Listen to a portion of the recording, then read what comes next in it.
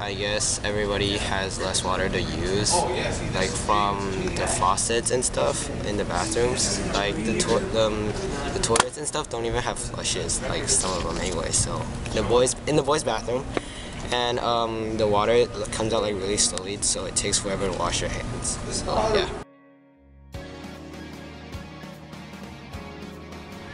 Here at our school, I'll show up every morning, bright and early, and the sprinklers are on every day. As you can see at our campus, we have a lot of green, too much green for my taste. Uh, we have taken small steps to replace green with these wood chips, but not enough in my opinion. Irvine's motto is brown is the new green. Let's get with the program. Orchard Hills is really helping the water uh, um, drought cons- and con- conserving a lot of water uh, around the Southern California because of the drought.